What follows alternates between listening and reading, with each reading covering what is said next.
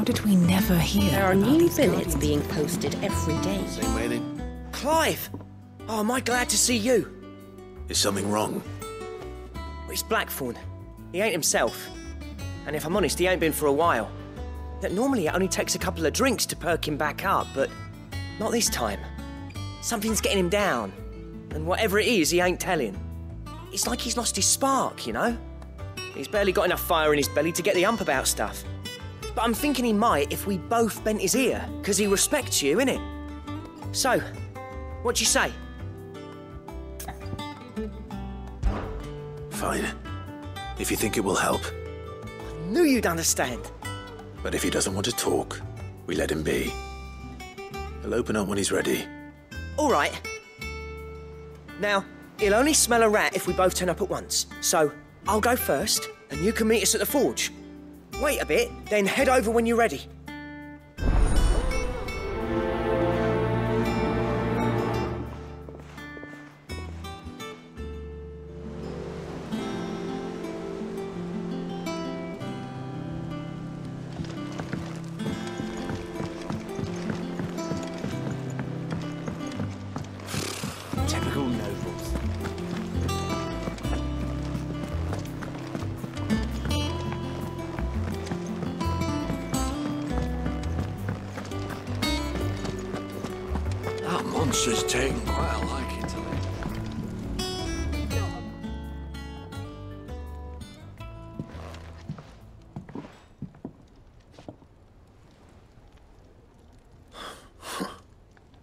First August, and now you. What you pair up to? What's it got to do with me? August was worried that something had been weighing on your mind. I thought you might want to talk about it. Did you now? I told you not to stick your nose in my business. What'd you go and do? Clive just wants to help, innit? What's so bad about that? Talk to him. You never know, you might feel better for getting it all out in the open. Please, mate. I'm worried about you. Phil shut you up. It's nothing really. Stupid. Not the sort of thing you bother people about. Why don't you tell us all the same?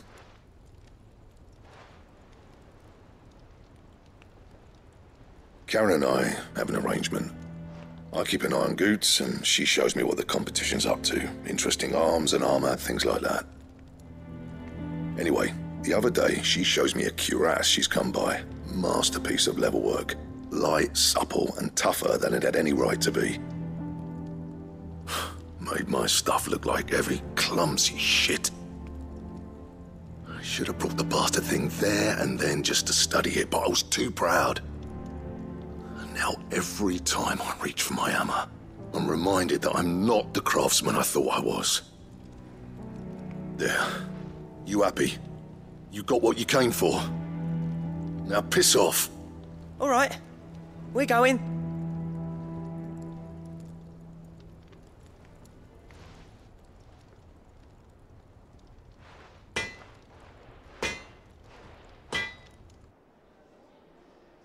I always thought of old Blackthorn as a bit of a force of nature. Like a storm cloud full of ale. Didn't think anything could rattle him. Least of all a stupid piece of leather. Blackthorn's always taken pride in his craft. Questioning it means questioning himself. Something tells me this is only going to get worse. If he has doubts, it will affect his work, which will only add to his problems. We need to nip this in the bud. I couldn't agree more. He said he should have bought that cuirass. Perhaps we should track it down for him. Assuming you're happy to help, that is. Too bloody right I am. Glad to hear it. First things first, then. We need to speak to Charon.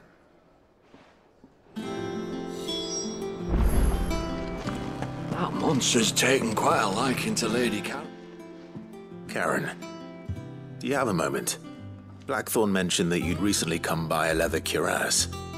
An exquisite example of the craft, from what he told us. And he ain't been himself since he saw it. So we thought we'd buy it for him. Sorry, sold it already. Didn't think Blackthorn cared for it the way he turned his nose up. But it was nicely put together, that's for certain. even if the bloke who made it is a bit of an odd one. Happened across him on my travels. Makes all his stuff to order, but the fella who commissioned it refused to pay. He didn't like the colour of summit. So I took it off his hands for a fair price. You don't know where we might find him, do you? Like I said, he's a bit of an odd one. Doesn't even have a workshop. He don't trust hunters neither, which means he spends as much time out tracking beasties as he does working their hides. I see. He did tell me something, though. Apparently, his next commission's for a set of griffin hide greaves. Here, there's a griffin on the hunt board. The curse breakers were placing bets on who'd bag it. Now, where the bleeding hell was it sighted? Somewhere in Sanbreque, maybe. Caernarvon, that was it. Thank you, Charon. We'd be lost without you. At least you admit it. So, it sounds like going after that griffin might be the best chance we have of finding our roaming leatherworker. I'll leave the hunting to you if you don't mind. While you get on with that, I'll ask around the markets. See if I can't sniff out who he is and where he's hiding. Good idea. Hopefully one of us will be able to track him down.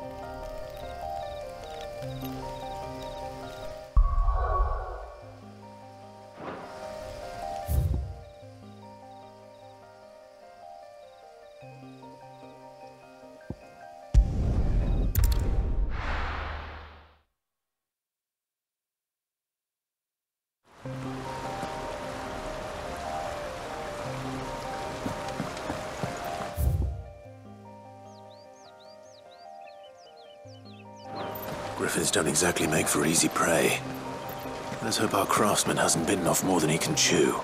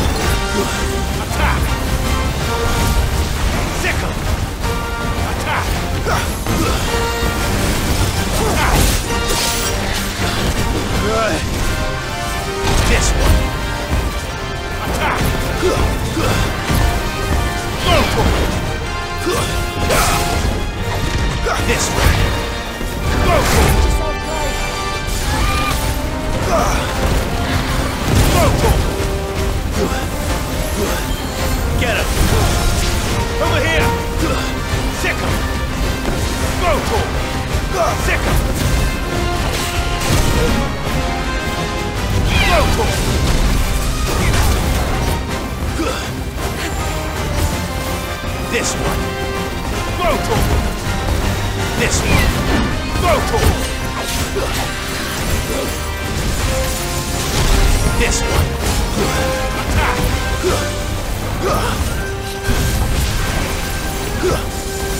Over here. This one. Come on.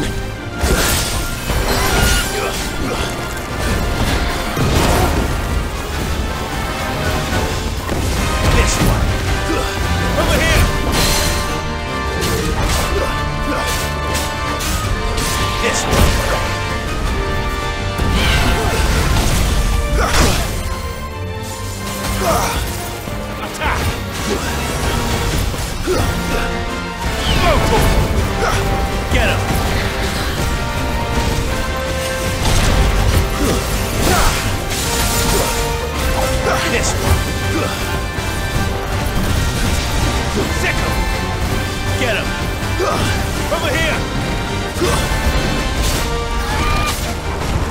Get him! Go!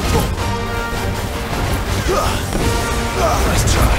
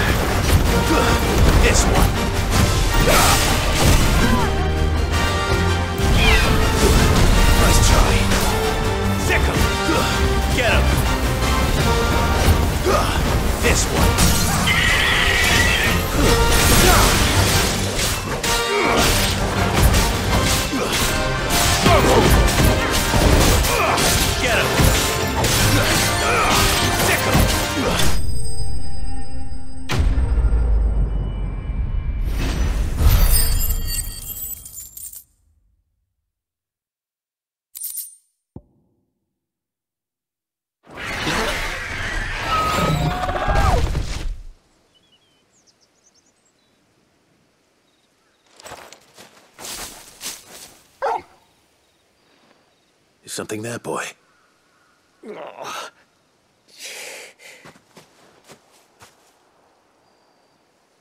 Could that be our man?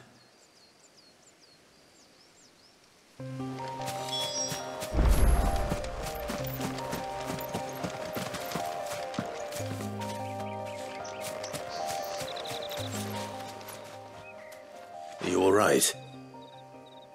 Dare say I'll survive.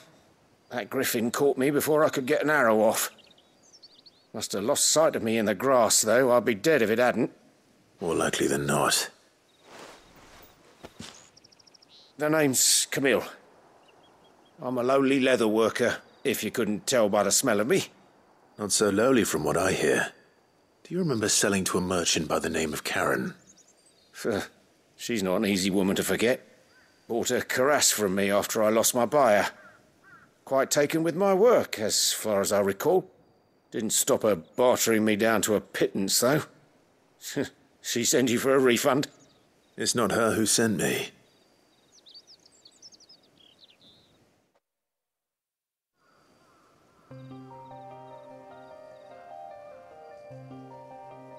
Well, consider me flattered. You should be.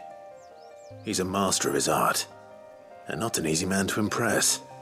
Blacksmiths are proud folk. It's a rare thing indeed for one to praise a glorified tanner. And I don't imagine an impressive swordsman like yourself would be getting your steel from any but the best. I'd dearly love to help a fellow craftsman, but.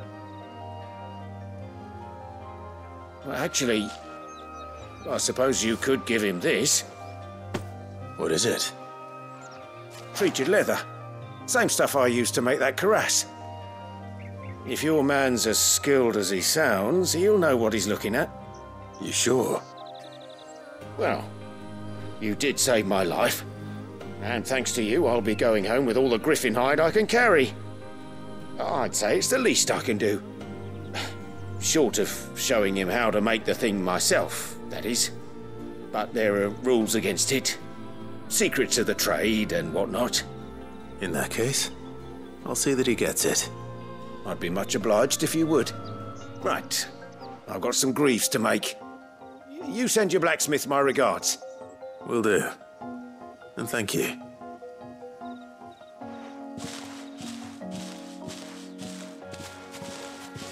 Hopefully this will sweeten Blackthorn's mood.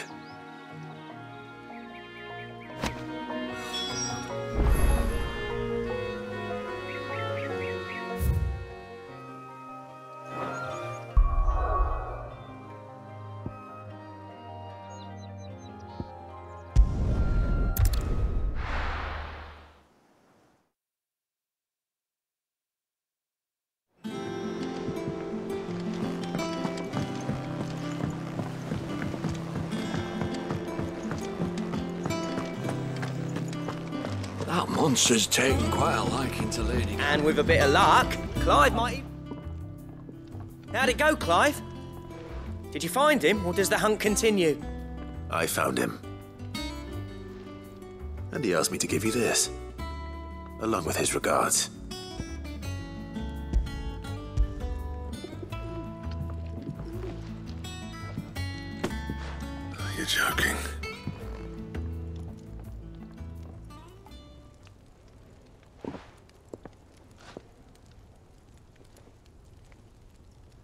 Said he wouldn't teach you how to work it, but that if you were as skilled as you sounded, you'd have no trouble understanding how it was done. Ah. So that's his secret. Crafty bastard. He's layered and cross-grained it. Good few times, too. No wonder it's tough. And that's no ordinary oil he's used to get that finish. Oh, this is fine work. Even finer than I thought. Yeah? I'll take your word for it. Just looks like leather to me. Still, I'm glad you're happy. Here, Clive. You didn't happen to catch the fella's name, did you? Camille, I believe. I thought as much. There ain't many leather workers in the realm daft enough to do their own hunting, see, and his name kept cropping up when I was asking around. Turns out he's from Tabor. And again, most leather workers are. But our friend Camille guards a long-held family secret, the details of which are the subject of some debate in the leatherworking community. Then we better keep this close to our chests. Listen, sorry for putting the both of you to all that trouble. Should have kept my moaning to myself. Still, I'm glad you found him. This has cheered me right up. That was the idea.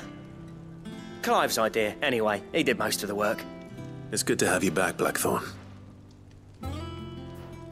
Just don't expect me to go turning out work like this.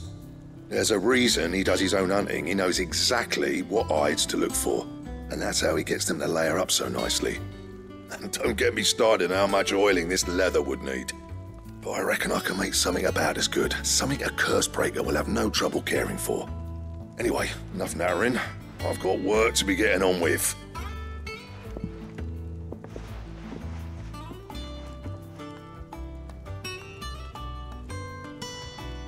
Looks like we won't be needing a new blacksmith. As if there was a better one out there. I wouldn't have been the same anyway. No one spins a yarn like old Blackthorn in his cups. right, now that's sorted, I've got duties to attend to. Thanks, Clive. You've given me my mate back.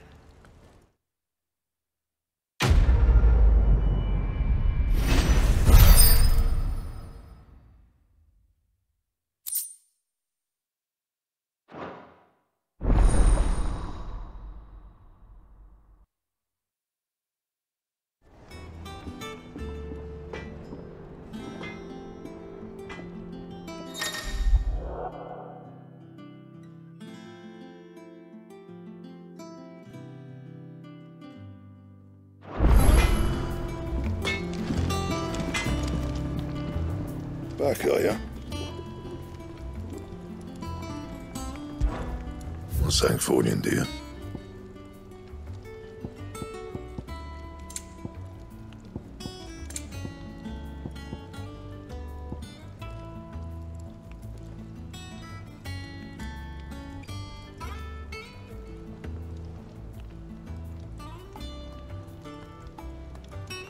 Don't waste my time.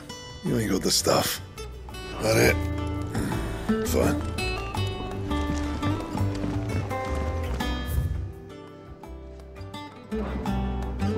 That monster's taken quite a liking to Lady Charon.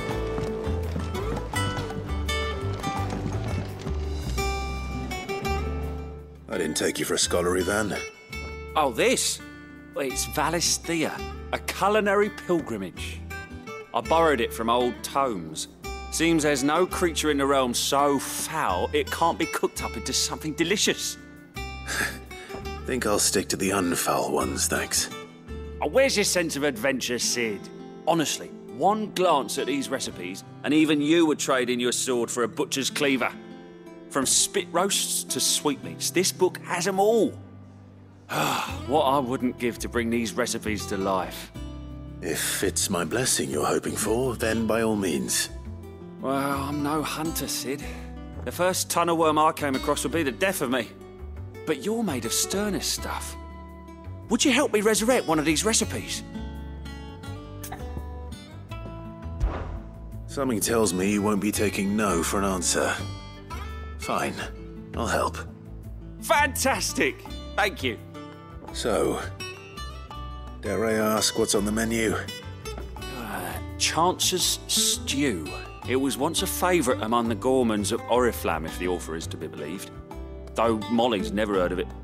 The only problem is that while the recipe is extremely detailed in most respects, it's infuriatingly cryptic as to the main ingredient. A beast, no doubt. Most likely something that would make easy work of a simple cook with more broth than brawn, but unwanted violets. I've no idea what they might be. Does the book say anything else? Well, only that the sweetest violets sprout atop the bed of roses. Roses. Rosaria, perhaps? One of the butchers in Martha's Rest might know something. I'll ask next time I'm there.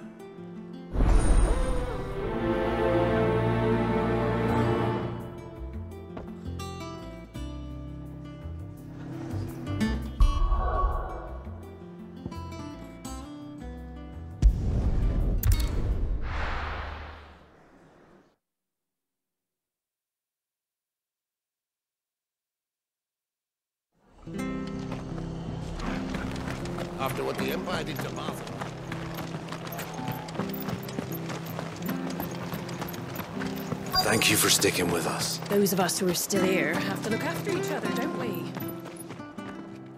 Ah, welcome.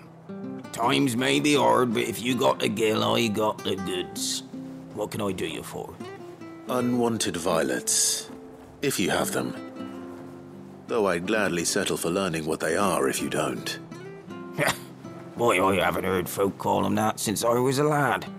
You're looking for scorpion tails. Unwanted violets is what folk used to call them back in the day. They turn a wicked purple when you boil 'em up, hence the name. Used to chuck 'em in the pot when there weren't nothing else on offer. When there was a war on, that sort of thing. Thankfully, times aren't yet as hard as that. And even if they were, you wouldn't find anyone selling 'em these days.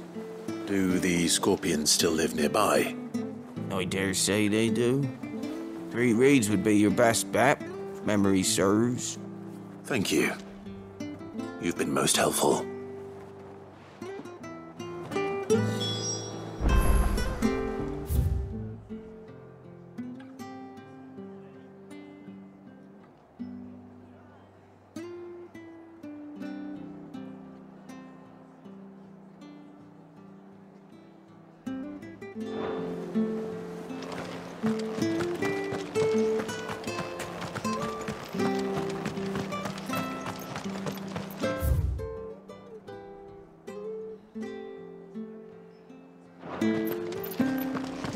Stay sharp.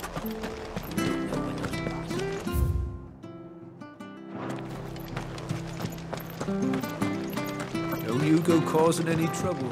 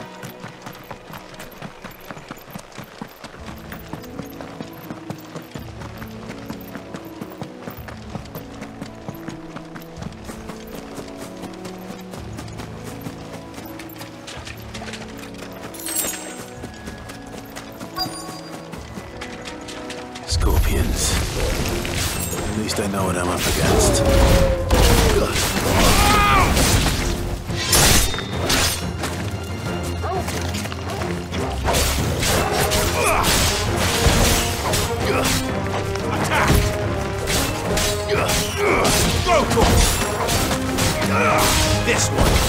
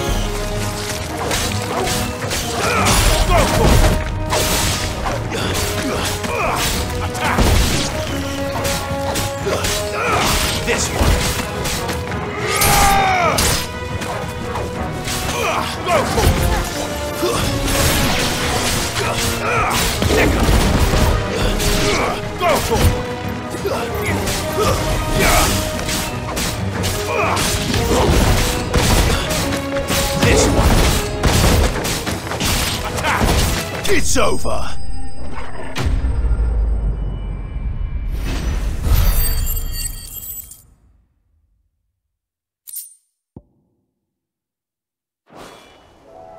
I better get this back to Yvonne before it goes bad. Or any worse, at least.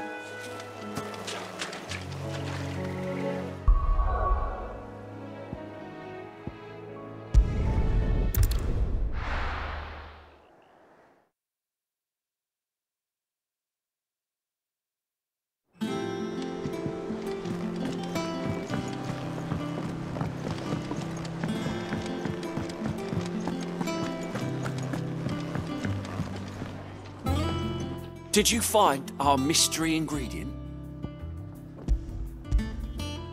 I did indeed. Marvellous! Let's see. what am I supposed to do with this? It's poisonous, surely. You wouldn't be wrong. But that's your unwanted violet. Into the pot it goes, I suppose. Uh, wait here. I won't be long.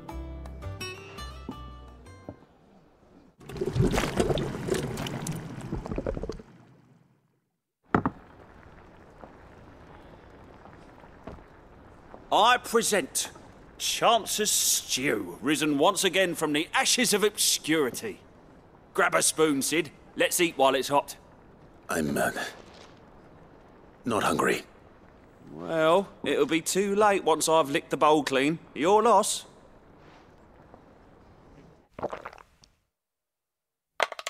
Mm.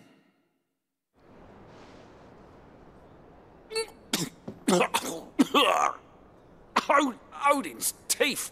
What the salt on the senses. It's like choking on swamp water.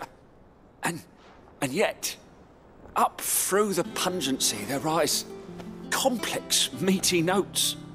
It it takes a moment to recover from such an onslaught of flavours, but never have I tasted anything so fine. Thank you, Cid. Thank you. You're, welcome. I must share this gift. I won't rest until a steaming bowl of Chance's stew sits before everyone in the hideaway. A single mouthful, and Molly will be breeding scorpions of her own.